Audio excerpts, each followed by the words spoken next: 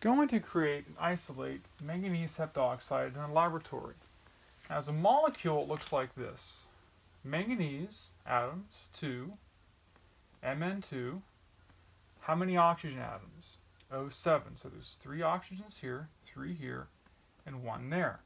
Now look at the bonding here. There's double bonds. Then there's just a single bond for this one oxygen atom. Interesting. Okay, so manganese heptoxide is an inorganic compound with the formula here. This volatile liquid is highly reactive and more often discussed than prepared due to the danger of this molecule. It is a dangerous oxidizer and first described in 1860. Okay? Manganese heptoxide arises as a dark green oil in appearance. By addition, the following two reagents. First, concentrated hydrochloric acid plus solid potassium permanganate. The synthesis here, so when these two reagents combine, the products formed, let's look at this one, it's water, KHSO4, potassium hydrogen sulfate, and the special molecule that we're going to isolate in the lab, manganese heptoxide. So, uh, manganese heptoxide uh, decomposes near room temperature. Okay, uh, it's explosive. So at the temperature of above 55 degrees centigrade. The explosion can be initiated by striking the sample or by exposure to an organic compound. The products are, after the, the reaction has taken place, after it, the manganese heptoxide has reacted and exploded, is most likely given manganese dioxide plus oxygen gas. Now, this is the interesting part I want to talk about. Ozone, okay, O Z O N E, which is O3. Now, in one of my previous videos in the past, I showed you guys an ozone generator using some high voltage and some magnets. Now, this is a chemical way okay, that ozone is produced. Now, ozone is also produced giving a strong smell to the substance. The ozone, okay, emitted from the compound can spontaneously ignite paper impregnated with an alcohol solution. So this is a very dangerous compound. Let's head to the laboratory and let me show you how to create and isolate manganese heptoxide. Okay, so the first step in the process of making manganese heptoxide is in this beaker, I'm going to add a concentrated solution of sulfuric acid.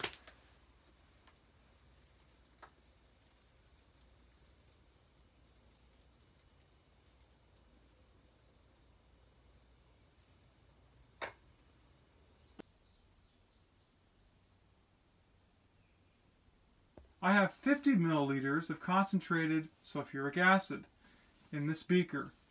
I'm now going to add 10 milliliters of solid potassium permanganate crystals to the concentrated sulfuric acid solution.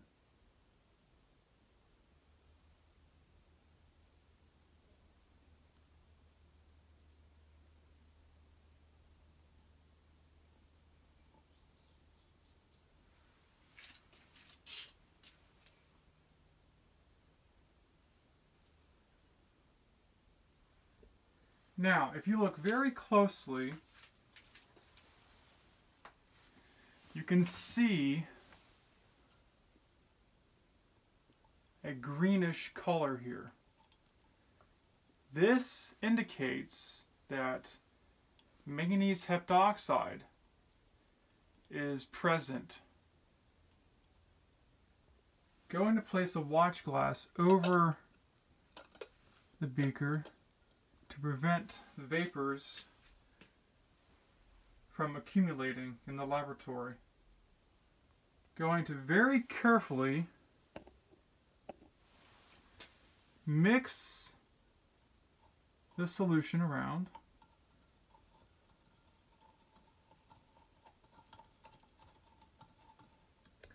The purple vapor you see is vaporous permanganate.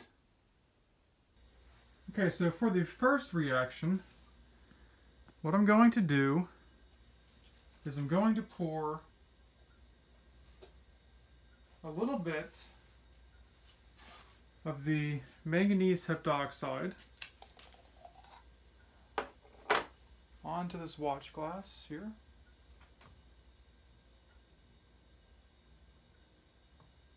Just a little bit.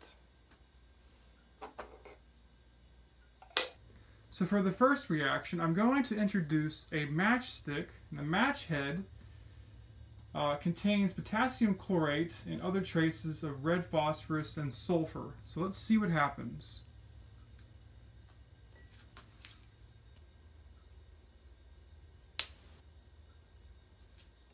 A manganese heptoxide reacts greatly with organic material. So to test that, I'm going to place a piece of this leaf in the manganese heptoxide solution.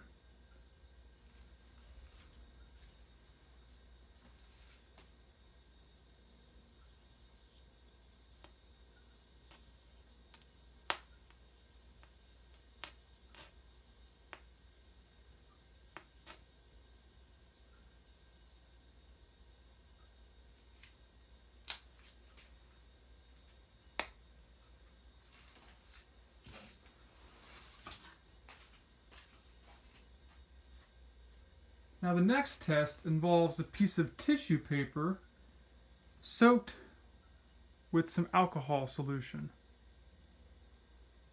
Three, two, one.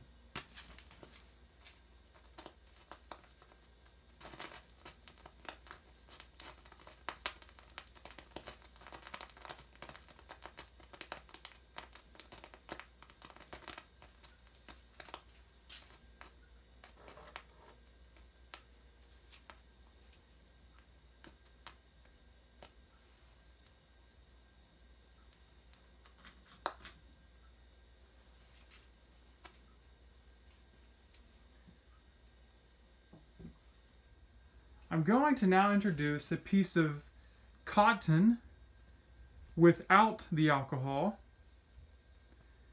to the manganese heptoxide.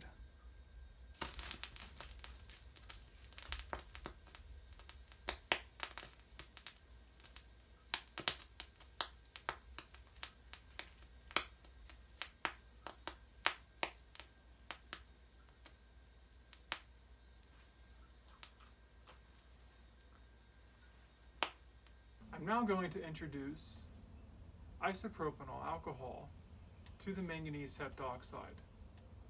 Three, two, one.